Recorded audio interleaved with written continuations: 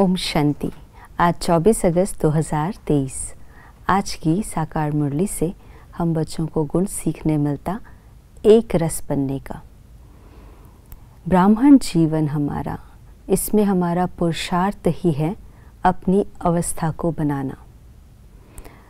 जैसी अवस्था होगी, वैसी ही हमारी व्यवस्था होगी।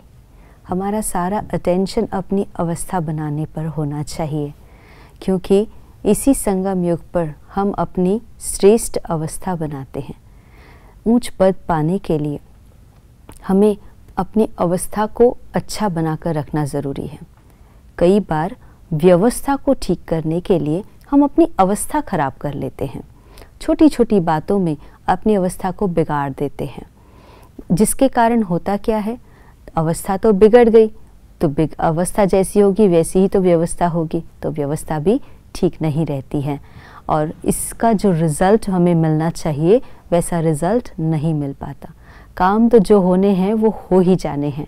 लेकिन किस तरह से किए, वो इंपॉर्टेंट है। उस कार्य को करते हुए हमारी अवस्था कैसी रही, वो महत्वपूर्ण है।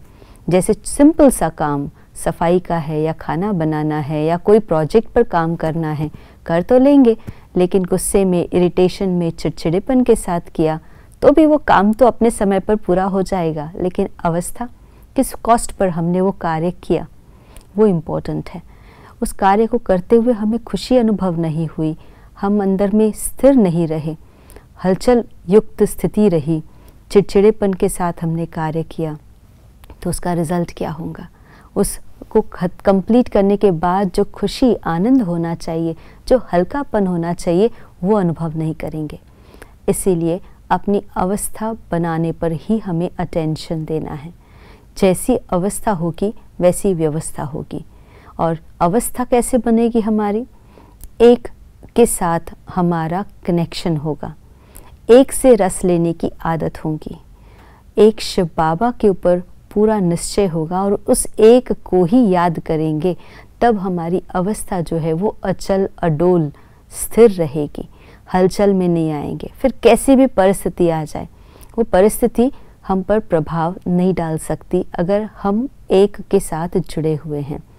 अगर पुरानी दुनिया, देह और देह के इंद्रियों के सुख में अनेक प्रकार के लोगों में अगर बुद्धि अटकी हुई है एक से रस नहीं ले रहे हैं, परमात्मा से कनेक्ट नहीं है और सब जगह बुद्धि न भटक रही है, व्यभिचारी है तो अव्यभिचारी याद न होने के कारण शक्ति नहीं मिलती है।